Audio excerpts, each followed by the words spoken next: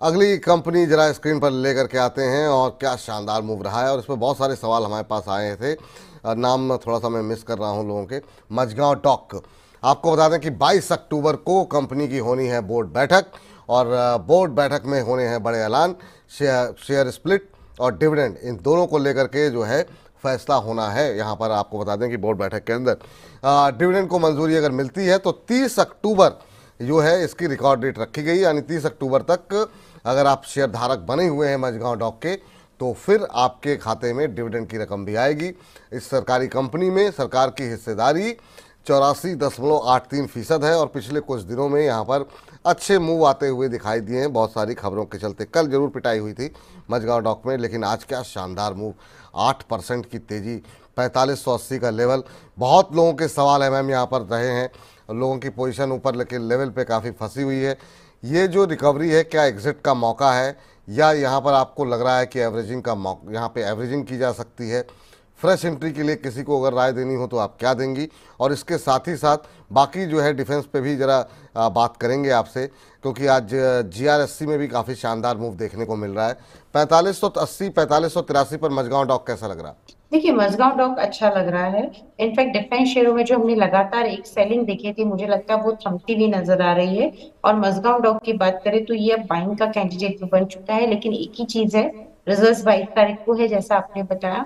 तो उससे पहले अगर हम बाइंग करते हैं तो थोड़ा सा रिस्की ट्रेड हो जाता है। बस इतना आप ध्यान रखिए कि रिस्क ले सकते हैं तो रिज़ल्ट से पहले बाइंग करिए। चार्ट्स तो ठीक बने हुए हैं, लेकिन जैसे इन्फोसिस के चार्ट्स पे बहुत मज़बूत बने हुए थे। रिजल्ट्स आते ही चार्ट्स की सूरत भी थोड़ी सी चेंज हो गई। तो वही चीज़ इसके साथ भी हो सकती है, एक मैं संभावना जता रही हूँ। तो उसके मद्देनजर रखते हुए अगर रिस्क लेना है तो रिज़ल्ट से पहले खरीदे और रिस्क नहीं लेना तो रिज़ल्ट के बाद खरीदे। अब अगर रिस्क लेते हुए, रिज़ल्ट के पहले अगर खरीदते हैं तो मुझे लगता है कि करंट लेवल पे भी खरीदा जा सकता है और इसमें जो टारगेट्स अब देखने को मिलेंगे, क्योंकि करंट लेवल की बात करें तो मेरे हिसाब से ये अभी भी खरीदने का एक अच्छा कैंडिडेट बना हुआ है और टारगेट इसमें मैं अब जो लेके चल रही हूँ forty eight hundred forty nine hundred के इनिशियल लेके चल रही हूँ।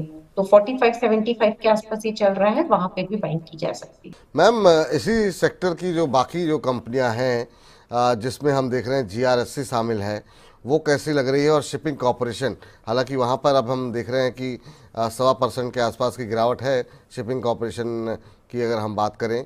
आप लेकिन कैसे देख रही हैं? जीआरएससी को और शिपिंग कॉरपोरेशन को।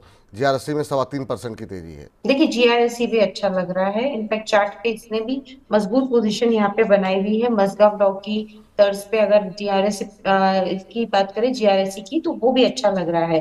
दूसरी तरफ़ आपने शिपिंग कॉरपोरेशन की बात की तो शिपिंग कॉरपोरेशन अभी भी चार्ज पे मज़बूत नहीं है। तो तीनों में से सबसे पहले दो चार्ज जो अच्छे हैं वो मजगांव डॉक और जीआरएससी के हैं।